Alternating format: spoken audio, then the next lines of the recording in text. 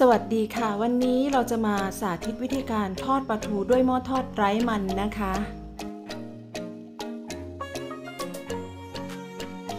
สวัสดีค่ะ วันนี้นะคะเราก็จะมาสอนวิธีการทอดปลาทูด้วยค่ะด้วยหม้อไร้มันนะคะ ก็นะคะเราก็เลือกปลาทูที่เราต้องการนะคะ มาได้เลยค่ะ เราจะมี 2 วิธีให้เลือกนะคะ วิธีแรกก็คือ เราทานน้ำมันและไม่ทานน้ำมันนะคะ พอเราเลือกปลาทูเสร็จแล้วเนี่ย เราก็ทำการเอาปลาทูไปเรียงนะคะ ใส่หม้อทอดไร้มันนะคะ 2 ตัวนี้นะคะ เราจะไม่ทานน้ำมันนะคะ พอเสร็จแล้วเนี่ยเราก็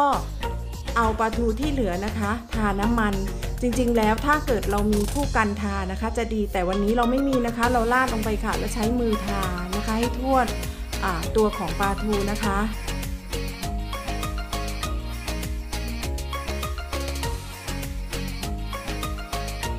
หลังจากที่คุณเอาน้ำมันทาทั่วตัวปลาทูเสร็จแล้วเนี่ย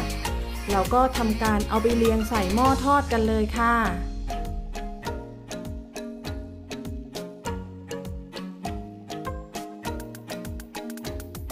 เรามาเริ่มอบกันเลยนะคะ เราจะใช้ไฟนะคะ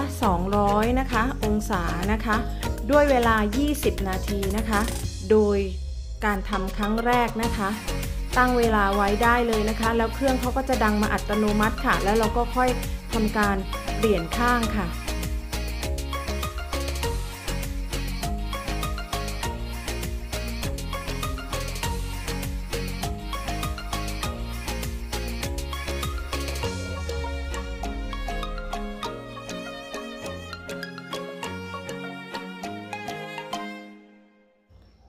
เมื่อครบ 20 นาทีแล้วนะคะ เราก็ลองมาเปิดดูกันนะคะว่า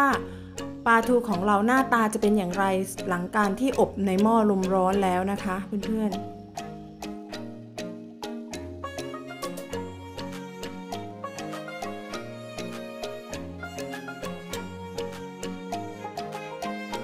นี่ค่ะเห็นไหมคะหน้าตาก็น่ากินเหมือนทอดกับน้ำมันในกระทะเลยนะคะเพื่อนๆ2ตัวนั้นก็คือเป็น ไม่ได้ใส่น้ำมันและอีก 2 ตัวก็คือใส่น้ำมันนะคะ เนื้อจะเด้งมากๆค่ะ เหมือนที่ทอดน้ำมันเลยค่ะ แล้วก็จะปลอดภัยด้วยการที่เราไม่มีน้ำมันมากๆ อย่างเงี้ยมันจะอันตรายต่อสุขภาพนะคะ ถ้าเพื่อนๆสนใจวิธีทอดแบบนี้นะคะ ก็ถ้าเกิดดูไม่ทันหรืออ่านไม่ทันก็อ่านใต้คลิปนะคะ เราจะเขียนไว้ค่ะว่าทำอย่างไรบ้างนะคะเพื่อนๆค่ะ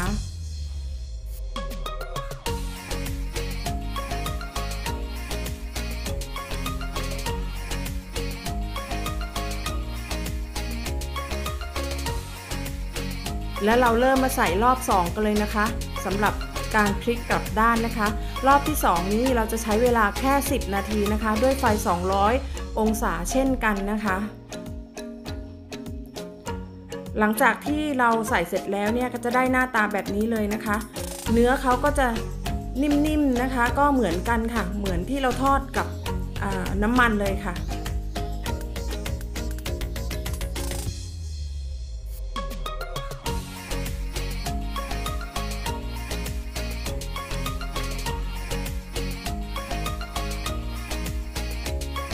ปลาทูที่ทอดนะคะ เขาจะไม่ติดหม้อนะคะ ก็ทำความสะอาดง่ายมากๆเลยค่ะสำหรับหม้อทอดไร้มันนะคะ แล้วเราก็ปลอดภัยนะคะ ไม่มีน้ำมันมากเกินไปนะคะ ถ้าเพื่อนๆสนใจเอาไปทำตามก็ได้นะคะ หรือมีคำถาม เพื่อนๆสามารถที่จะ